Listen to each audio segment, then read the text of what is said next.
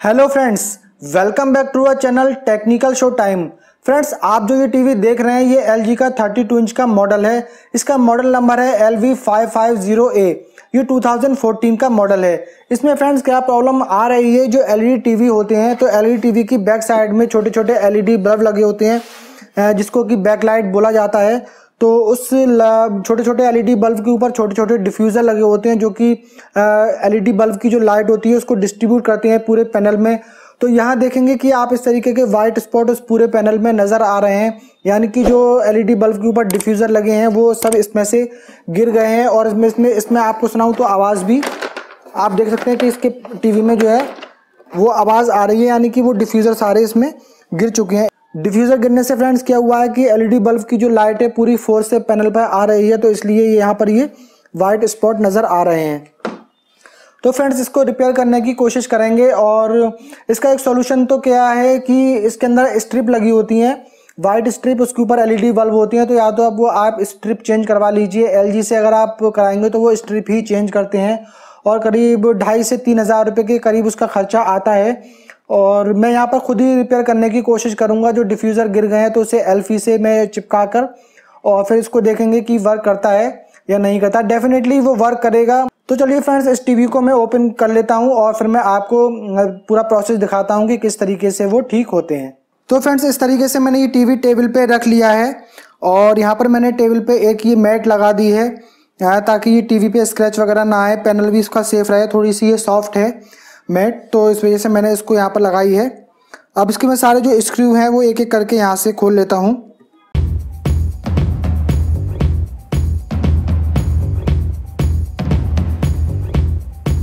तो फ्रेंड्स इसके जो सारे स्क्रू हैं, मैंने यहाँ पर खोल लिए हैं और एक चीज़ मैं यहाँ पर आपको सजेस्ट करना चाहूँगा कि अगर आपको और नॉलेज नहीं है कि किस तरीके से टीवी खोला जाएगा तो आप घर पे ट्राई ना करें। ये 32 इंच का मॉडल है तो इसे आसानी से घर पे खोला जा सकता है। लेकिन जो 43 इंच और जो 50 और 55 इंच के मॉडल होते हैं, उनमें अगर इस तरीके की प्रॉब्लम आती है तो प्लीज़ आप उसे घर पे बिल्कुल भी ट्राई ना करें ठीक करने की। उसका पैनल डैमेज हो सकता है। बहुत ही केयरफुली इस टीवी को भी बहुत ही केयरफुली खोलना है। जो बिग साइज़ के जो पैनल होते हैं तो वो वर्कशॉप में ठीक होते हैं। और वर्कशॉप में दो तीन लोग होते हैं और वैक्यूम हैंडल होते हैं, उनसे पैनल को वहाँ से हटाया जाता है टीवी से बहुत ही केयरफुली हटाया जाता है ताकि वो डैमेज ना हो। तो घर पे डेफिनेटली वो डैमेज हो सकता है अगर आप उसे खोलने की कोशिश करेंगे। तो आप घर पे ट्राई ना करें। 32 इंच के मॉडल में आप ट्राई कर सकते हैं क्योंकि ये छोटा होता है। साइज़ में तो उसका पैनल आप आसानी से हटा सकते हैं, लेकिन बहुत ही केयरफुली आपको ये करना है। तो चलिए मैं इसका बैक कवर वगैरह हटा के आपको दिखा देता हूँ कि किस तरीके से ये ठीक करना है।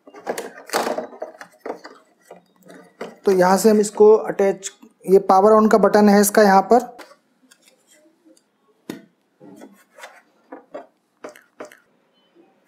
और एक बार फ्रेंड्स हम चेक कर लेंगे कि सारे जो स्क्रू हैं वो हमने यहाँ से रिमूव कर दिए हों। उसके बाद हम इस बैक कवर को हटाएँगे। इसमें जल्दबाजी बिल्कुल भी नहीं करनी है। धीरे धीरे बैक कवर को हटाएँगे।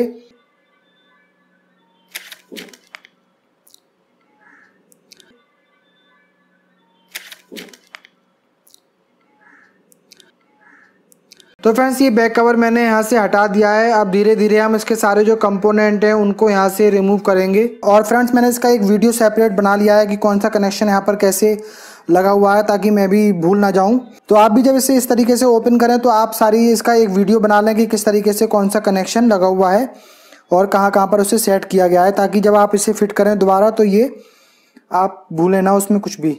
तो मैं ये सारे इसके जो कनेक्शन है, वो यहाँ से रिमूव कर देता हूँ।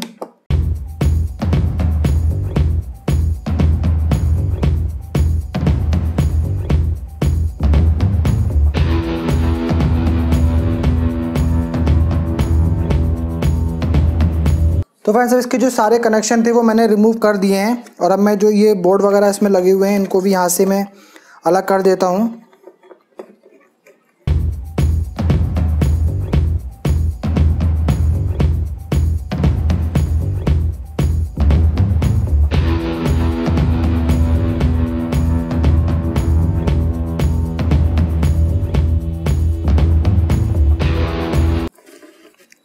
अब यहाँ पर जो इसके स्पीकर लगे हैं तो इनको भी मैं यहाँ से, इनको भी रिमूव करना पड़ेगा, ये कैसे निकलेंगे?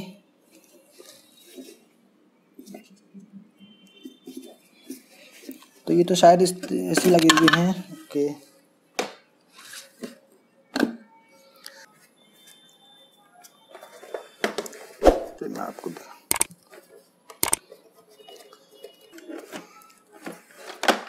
फ्रेंड्स आप देखें कि इसमें ये जो लाइट है, उसके अंदर ये बोल रही हैं।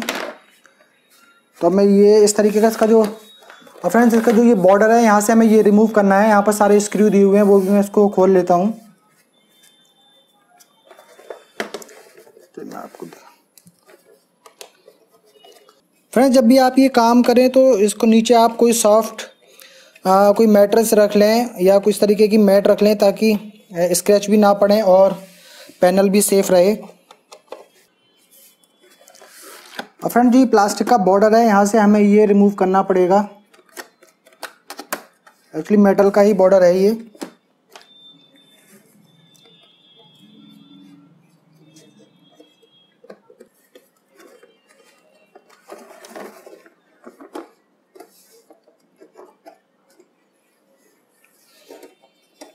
ये बॉर्डर फ्रेंड्स, आप बहुत ही आप पेशेंस से निकालेंगे ताकि ज़रा सा भी जो ये पैनल है वो डैमेज ना हो जाए और डैमेज हो गया तो बहुत दिक्कत इसमें आ सकती है फिर।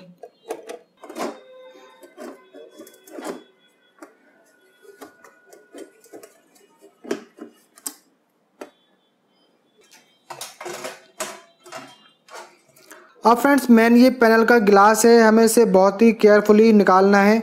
इसमें हमें जल्दबाजी बिल्कुल भी नहीं करनी है, इसको आराम से उठाएँगे।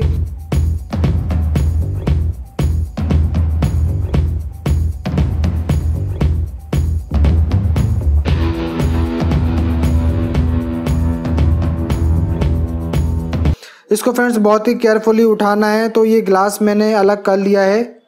अब इसको किसी सेफ़ जगह पर रख देते हैं। और फ्रेंड्स यहाँ पर जो ये डिफ्यूज़र लगे हुए हैं, इनको हमें यहाँ से रिमूव करना है। तो इसके लिए शायद हमें ये प्लास्टिक का एक जो बॉर्डर है, इसको भी निकालना पड़ेगा। इसको भी हमें अलग करना पड़ेगा तो इसे भी हम निकालते हैं।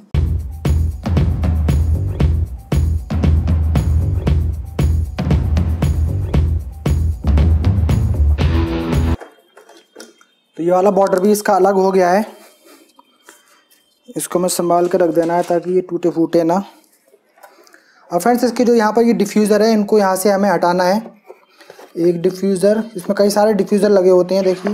एक, दो, तीन और ये चार। चार डिफ्यूज़र इसमें है। और ये इसी तरीके से हमें रख देना है, कहीं पर उठाकर ताकि ऊपर नीचे ना हो जाए। तो इसको मैं रख देता हूँ ले जाकर, इसको भी सेफ़ जगह पे। अब फ्रेंड्स आप यहाँ पर देखेंगे, मैं आपको दिखाता हूँ।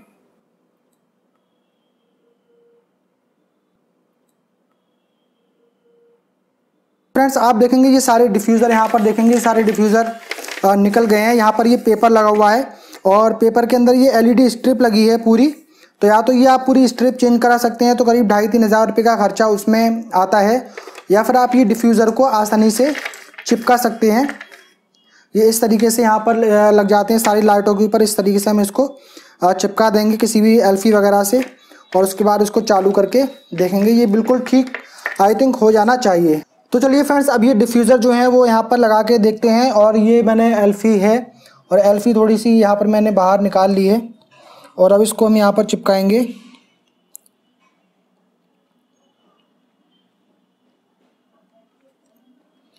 तो इस तरीके से चिपका के और यहाँ पर मैं साइडों में इसकी थोड़ी सी एल्फी लगा देता हूँ।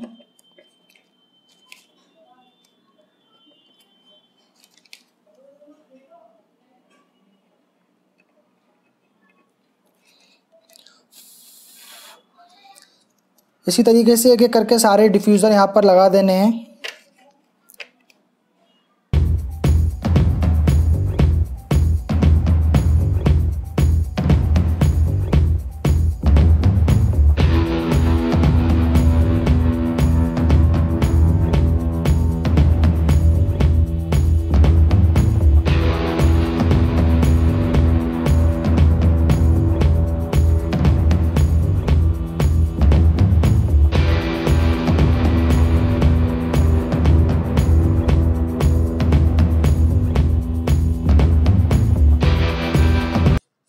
फ्रेंड्स ये जो सारे डिफ्यूज़र थे, मैंने यहाँ पर लगा दिए हैं।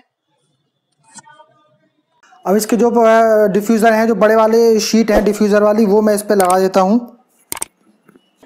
तो इसकी जो डिफ्यूज़र शीट है, ये भी मैं इसमें लगा देता हूँ। और इसको हम देख लेंगे ये प्रॉपर तरीके से इसमें फिट हो जाए।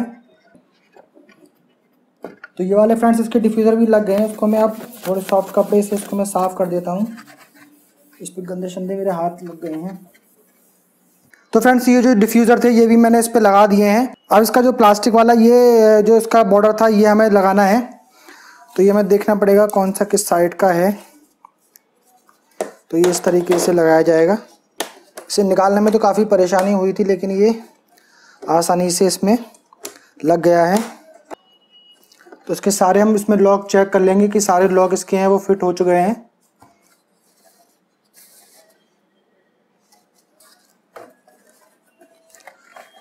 तो यहाँ पर जो ये सारे लॉक होते हैं, ये सारे हमें चेक करने हैं कि ये सारे लॉक आप फिट हो गए हों।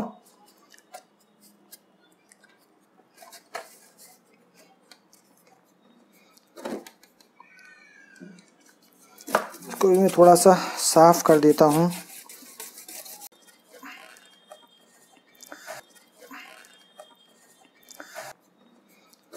अब फ्रेंड्स पैनल का जो ग्लास है, वो हम इसमें लगाएँगे। इस ग्लास को बहुत धीरे धीरे से लगाना है ताकि ये डैमेज ना हो जाए।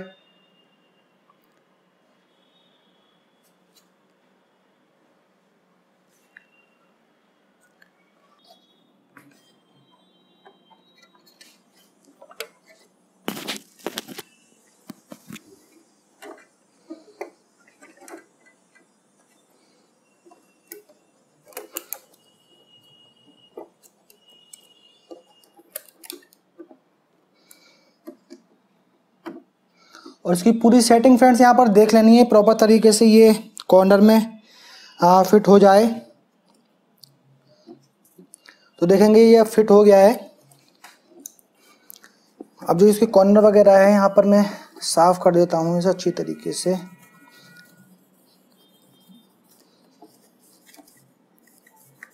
चलिए अब इसके पैनल का जो बेजल बॉर्डर है इसे हम लगा देते हैं।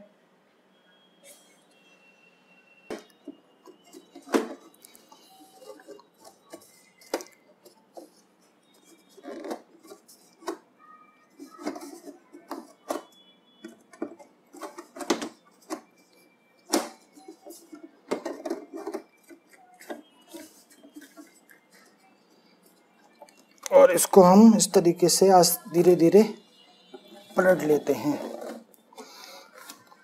और कुछ भी करने से पहले फ्रेंड्स अब इसकी जो ये प्लेट है पूरी, इसका जो स्क्रीन का बोर्ड है, वो हम इसमें फिक्स कर देते हैं ताकि ये डैमेज ना हो।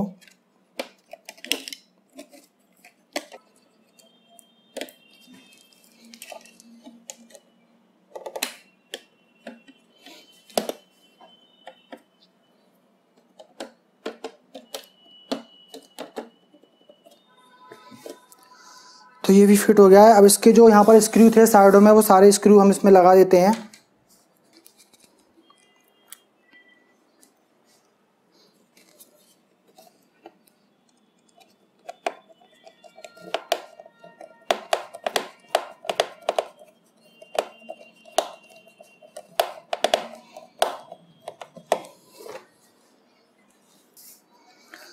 तो सारे स्क्रू जो थे फ्रेंड्स यहाँ पर टाइट मैंने कर दिए हैं। और एक यहाँ भी रह गया है।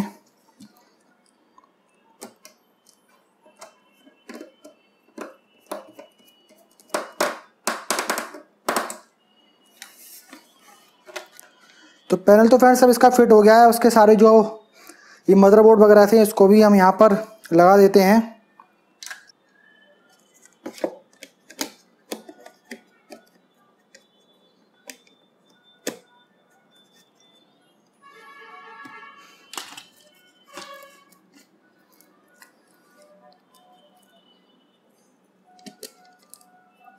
और इसका दूसरा बोर्ड है, ये वाला हम लगा देते हैं।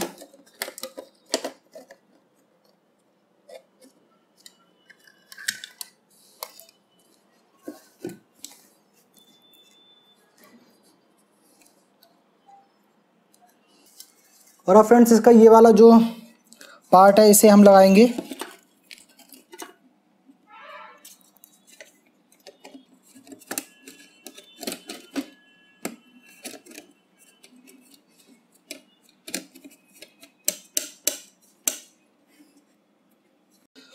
ये फिट हो गया। अब इसके फ्रेंड्स जो स्पीकर हैं, इनको हम स्पीकर को यहाँ पर कनेक्ट कर देते हैं।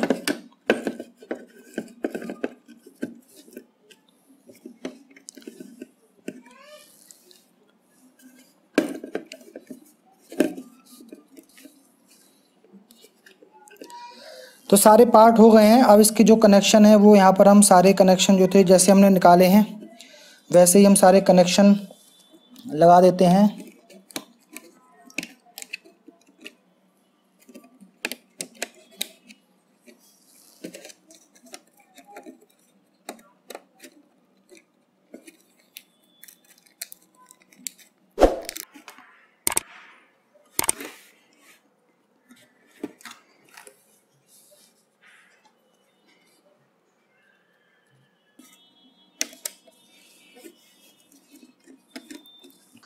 तो फ्रेंड्स सारे जो कनेक्टर थे वो मैंने यहाँ पर फिट कर दिए हैं। सारे कनेक्शन भी यहाँ पर लगा दिए हैं। अब इसकी पावर ऑन करके देखते हैं कि ये वर्क करता है या नहीं करता है। तो ये मैंने इसका पावर का स्विच लगा देता हूँ। और ये एलईडी ऑन हो गई है। तो फ्रेंड मैंने ये पावर ऑन कर दी है और आप देख सकते हैं कि आप कोई भी वाइट स्पॉट यहाँ पर नज़र नहीं आ रहा है। आप देख सकते हैं कि कोई भी वाइट स्पॉट यहाँ पर नहीं दिख रहा है। तो सारी इसकी ये एलईडी मैंने रिपेयर कर दी है। मैं इसका बैक कवर वगैरह लगा देता हूँ। फिर से मैं आपको एक बार बैक कवर लगा के भी चेक करवा दूँगा।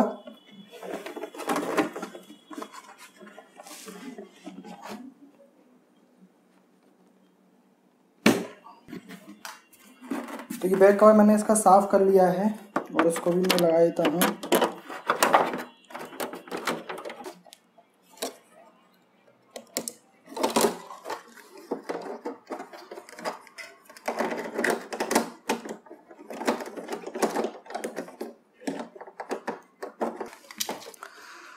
अब सारे इसके जो स्क्रू हैं वो मैं टाइट कर देता हूँ।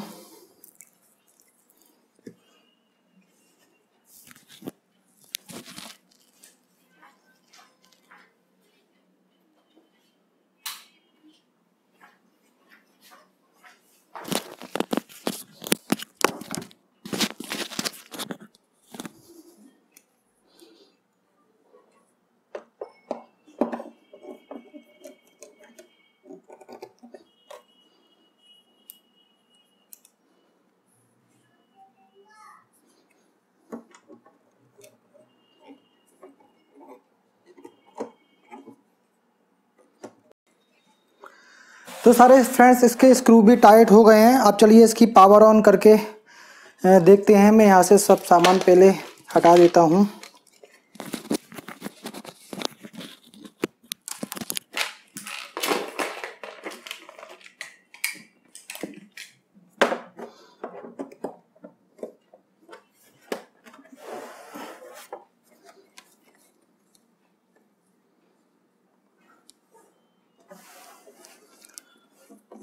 तो फ्रेंड्स आप देखेंगे कि टीवी जो है वो ऑन हो गया है और यहाँ पर अब जो वाइट स्पॉट थे वो बिल्कुल भी यहाँ पे नज़र नहीं आ रहे हैं। मैं एक बार इस साइड से खड़ा करके इसको आपको दिखाता हूँ। तो फ्रेंड्स अब आप देखेंगे कि जो सारे जो वाइट स्पॉट इसमें नज़र आ रहे थे, अब एक भी स्पॉट नज़र नहीं आ रहा है। टीवी एकदम ठीक हो गया है। तो इस तरीके से फ्रेंड्स अगर आपके टीवी के रिफ्लेक्टर या डिफ्यूज़र गिर गए हैं तो आप उसे अपने घर पर ही रिपेयर कर सकते हैं और अब आप देखेंगे कि इसमें एक भी वाइट स्पॉट यहाँ पर नज़र नहीं आ रहा है। आप बिल्कुल देख सकते हैं क्लियरली एक भी वाइट स्पॉट यहाँ पर इसमें नहीं है। तो आप घर पर ही इसे रिपेयर कर सकते हैं, लेकिन आपको रिपेयर करते टाइम आपको बहुत ही केयरफुली इसको खोलना है ताकि इसका पैनल है वो डैमेज ना हो जाए और रिफ्लेक्टर डिफ्यूज़र है, उनको भी बहुत प्रॉपर तरीके से अपनी जगह पे प्लेस करना है और बहुत ज़्यादा गम या एल्फी ना लगाएँ जिससे वो ख़राब हो जाए डिफ्यूज़र तो आप थोड़ा थोड़ा उस पर गम लगा के या एल्फी लगा के उसको वहाँ से चिपका सकते हैं और इस तरीके से आप घर पर ही इसे रिपेयर कर सकते हैं। यहाँ मैं आपको सजेस्ट करूँगा कि अगर बड़ा टीवी है 43 इंच है 50 इंच 55 इंच है उसे आप घर पे रिपेयर करने की कोशिश ना करें। उसका जो पैनल होता है वो काफ़ी बड़ा होता है और उसको उठाने में थोड़ा प्रॉब्लम हो सकती है तो डैमेज हो सकता है। बाकी 32 इंच और इससे नीचे के साइज़ के जो टीवी हैं, उन्हें आप घर पर ही बड़ी आसानी से रिपेयर कर सकते हैं। उम्मीद करता हूँ फ्रेंड्स ये वीडियो आप लोगों को पसंद आया होगा। पसंद आया हो तो वीडियो को लाइक कर दीजिए शेयर कर दीजिए। चैनल सब्सक्राइब नहीं किया है तो सब्सक्राइब कर लीजिए, साथ में बेल आइकन को भी प्रेस कर दीजिए। मिलते हैं फ्रेंड किसी अगले वीडियो में, तब तक के लिए बाय बाय